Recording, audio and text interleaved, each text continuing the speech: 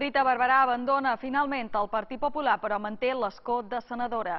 En un comunicat, Barberà expressa la seva voluntat de mantenir l'escó al Senat perquè si renunciés, diu, estaria assumint la seva culpabilitat.